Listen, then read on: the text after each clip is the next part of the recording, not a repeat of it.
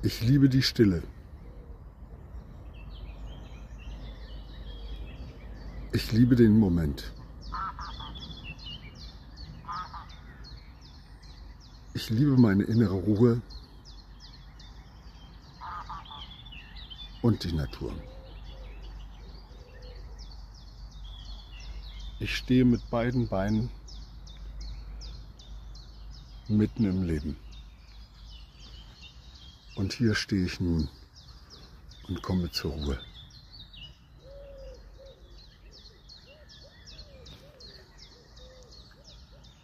Während die anderen noch glücklich schlafen und zufrieden sind, ein Kohärenzgefühl haben oder in Kohärenz sind, weil sie ja nichts mitbekommen, ähm, ja, bin ich schon unterwegs an dem Ort,